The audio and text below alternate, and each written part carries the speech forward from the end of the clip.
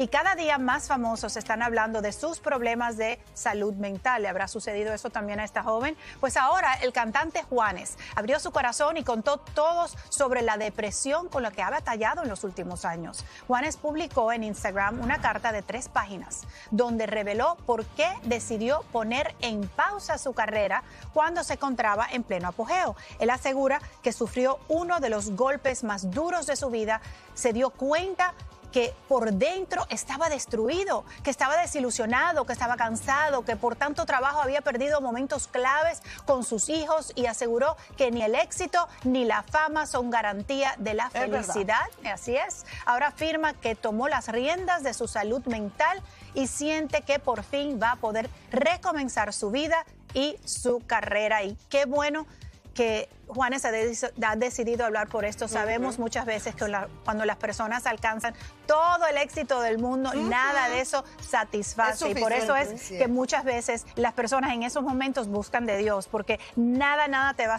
satisfacer, porque es que puedes tenerlo todo y todavía hay personas que cometen suicidios. Imagínense, muy triste, pero qué bueno que él lo está hablando y que está bien. Y tú hablas de personas, Mirka, pero los artistas en particular que tienen una sensibilidad un poquito más desarrollada, yo creo que tienden a, a, sentir las cosas como no, no, a un mayor nivel. Yo creo que sí. Eh, una cosa, lo, lo, que pasa es que yo me cuesta mucho trabajo pensar que alguien realmente pueda llegar a la depresión. Yo creo que hay diferentes tipos de depresiones. Hay personas que sí realmente tienen una depresión muy profunda porque tienen un desbalance químico en el cerebro. Yo tengo un familiar muy cercano que yo trato de, decirle cosas bonitas, de levantarle el ánimo, de hacer lo que sea. y no le ayuda, me dice, Lynn, yo estoy enferma, yo tengo un desbalance químico, tiene que tomar pastillas. Claro. Pero cuando dicen que es depresión, me asusto, porque a lo mejor está pasando por un momento de tristeza muy profunda. Es lo que yo siento. Es que hay, una cosa que sucede cuando es una situación trágica en tu vida o una tristeza y otra es crónica donde nada te puede levantar los ánimos. Oye, y hay otra esa la diferencia. también y a mí me parece interesantísimo que los hombres son los que últimamente están alzando la voz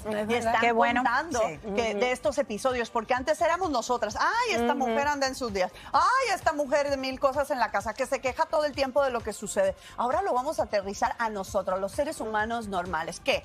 Que tenemos deudas, que pasa una situación difícil en nuestra familia, que nos enfermamos, que, que estamos padeciendo de un problema grave de salud, que perdemos un familiar que amamos. Todas esas pueden ser causas para la depresión. Si necesitas ayuda, yo creo que lo más importante es buscar eh, un doctor. Eso es primero que todo. Alguien que te ayude a estabilizarte y a guiarte por el camino. Y como dice Mirka, Dios también, la oración, la meditación, respirar profundo eh, y también eh, yo creo que en el caso de Juanes, mucha gente pensará, si es un hombre tan exitoso, tiene una familia tan linda, ¿Por qué está deprimido? Sí pasa. Por eso mismo. Tiene una, por eso una familia hermosa, perdón Gigi, tiene una familia hermosa, tiene unos hijos, Karen, que, es su esposa que ha estado al lado de él toda la vida. Así es. Bueno, lo que pasa es que muchas personas llevan ese dolor, esa tristeza, esa depresión por dentro.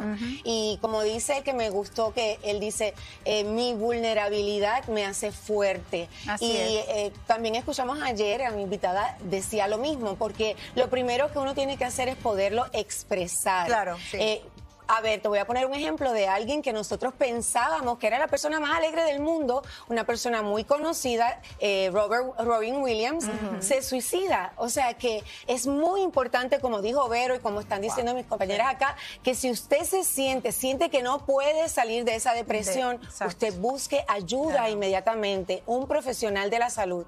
Así es como lo que decías, pero antes se usaba la, famosa trillada frase de los hombres no lloran. Exacto. Los hombres no podían ni llorar. No se queja. no se queja, papito. No se queje. Y además yo creo que, muchas veces para los hombres y eso, las personas artistas o las personas que tienen mucho dinero dicen, ¿cómo voy a admitir que estoy triste cuando yo lo tengo todo? Entonces le da vergüenza hablarlo, así que aplausos por Juanes.